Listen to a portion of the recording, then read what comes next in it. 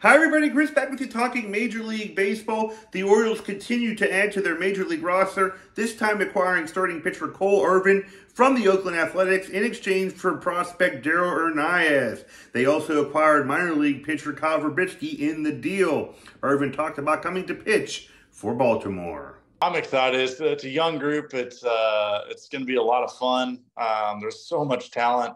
Um, just in the difference in in you know two years from 21 to 22 um, it, it, was a visible difference and i'm excited. I'm excited to kind of get involved with with the organization a little bit more get to know the fans get to know everyone. Um, it's going to be it's going to be an exciting season and uh, it's i mean the defense the offense um, even the conversations with uh, hyde and uh, holt yesterday.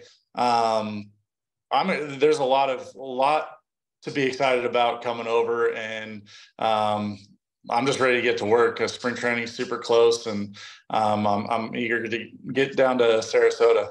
I love Camden Yards; it's one of my favorite ballparks to visit, um, and I'm, I'm excited to call it home. Uh, that's for sure. With the with the left field being pushed back a little bit, um, or a lot of bit.